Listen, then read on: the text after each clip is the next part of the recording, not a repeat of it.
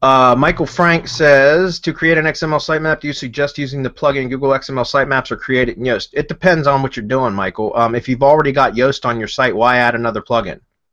Right? If you're already using the Yoast SEO plugin, then just use the Yoast SEO sitemaps. Unless you've got an enormously big site for some reason, in which case you'd want to use the better WordPress sitemaps plugin, um, which will allow you to paginate your sitemaps. It'll also allow to cache your sitemaps. There's a lot of things that that'll do. That's like what I use on my ATM sites is uh, the Better WordPress Sitemaps plugin. But other than that, if you if you already have Yoast on your site, why add another sitemap plugin? It doesn't make any sense. You'd be bogging down your site.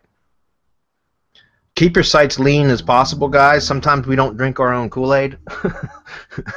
our own site is like bogged down with way too many damn plugins. I bet you 80% of them aren't even being used, and we got to clean that shit up, which we've been discussing for the last week. So, um, but for like client sites and sites that I'm actually, you know, actively ranking, um, I try to keep my sites as light as possible and use only the bare minimum of plugins to accomplish what it is that I need to do, because it makes the sites run better and it creates less maintenance issues uh, with conflicts and updates and all that kind of stuff.